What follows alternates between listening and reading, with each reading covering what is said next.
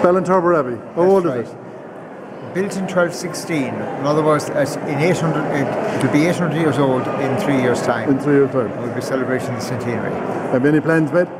Well, the, the plans will be to continue on the work we're doing here, for the weddings or pilgrims or retreats or celebration mass of the community. And the plans will be to continue on with that and make it the place. Yes. Who built this place? It was built by King Cathal O'Connor, uh, King of Connacht, Cathal Moore of the Wine Red Hand. And he built it in Thanksgiving uh, for the fact that when he was a young boy, he was in flight from the Queen, who was his stepmother. She wanted to kill him, and found shelter and protection from the man in charge of the old monastery here, a man called Sheridan. So in Thanksgiving, he uh, said he'd build a church for Sheridan. But actually, he built the church in the wrong place first. He built it in Ballintober, County Roscommon. So did he actually build two of them? Small one in Ballintober, Roscommon. To make up for that, he built this one then. And is it still in Ballintorber, is it? Small one in the graveyard there, uh, with him beside St. Bridge as well. And there- was there much of a space between the two of them? No, well, he, he actually thought his masons had built the church, and he asked the Sheridan, the man in charge of the old church, how did you like the church I built for you? And he said, you didn't build any at all. And then he asked his masons, did you build a church in Ballintober? And they said, they did. It in the wrong Ballintober. And uh, what order of clergy were in? Or was it Canon Regulars of St. Augustine. They were uh, over from France. They were a very prolific order at that time. They had, uh, they were also in St. Mary's in Dublin, and they would have been in uh, Abbeyknockmoy in those places. No, no, the Cistercians were in Abbeyknockmoy, but um, they were uh, Canon Regulars of St. Augustine. And this church went through hard times, did it? Very hard times. For the, where we are standing now, this was the only place that was roofed for 250 years. It's a cobblestone roof.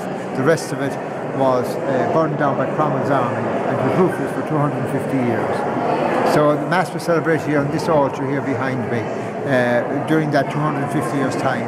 With photographs going back to as far as 1846 and 1864 rather of uh, Mass being celebrated here, the, the children here and the men and women out there kneeling on the grass. And did they try to knock it down? They burned it down. they burned it down, They burned it down and then left it as a ruin, as much other. But this one, they continued on celebrating mass here, in spite of the fact that it was a ruin. And how did this one survive when all the rest of them were all over the country? It was the people. It was the people from the area that continued to come in here and say mass and, and um, attend mass here and pray here. Um, the orders went away because they were decimated, but the people, the ordinary people from the area, came in and, and they continued to say mass here. So there's a great history behind this. Oh, great history behind it. The famine times too was it's, it's noted in the famine times too um, because it was this was the worst area but here Westport and Bannerrogue hit by the famine. And 7,000 out of 3,000 uh, 3,000 out of 7,000 people died here in the famine. It should be worse only for one of, one of the landlords here, Moore of Moore Hall. He had a horse called Coranna. He ran him in the Chester Cup in 1846. And he won the Chester Cup in 1846. He won, he won 10,000 sovereigns and he gave it to the starving tenants. And when did the rest- restoration efforts begin? The first restora- restoration in 1846, but that was halted by the famine. And then the next restoration effort was in 1887 when um, the nave, or the, the transept was roofed. And then 1960, Father Tom Egan roofed the, the nave. And then 1994, we roofed out there in the chapter house. It's a very popular wedding venue, isn't it? It is, yes, actually. It's a very nice. We're out of the country, it's quiet, and there's a great atmosphere about it. Who would be married here? Any famous people married Well, here? everyone that gets married here, we say is famous. well, we had, we had, had Fa- uh, we had uh, Pierce Brosnan here, we had Shane Filan. So you're you're very famous.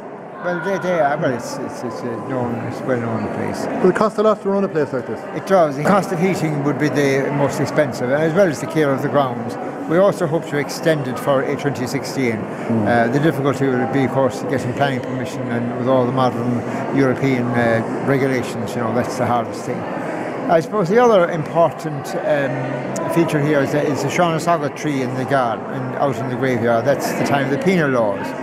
When that's the whole story with regard to Seán na Sagart, and he's the priest hunter, and he's buried out in the in the um, in, in, the graveyard, graveyard. That graveyard goes back to Patrick's time, because the remains of Patrick's church is in the graveyard. So that's Patrick had a big influence in this area around here all He, over ba- the he baptised the people here when he came back along the Tochar Phádraig, the Pil- Pilgrim Road. He came back 441 and he baptised the people here at the well. And that road is still the Pilgrim Road and it's called Tochar Phádraig. And you run a big event here every Easter. We have the Passion Play here every Easter. Every Easter. How long is that running for? 25 years. 25 years. yeah. Yeah. And what's uh, inspired you to start up the Passion Play?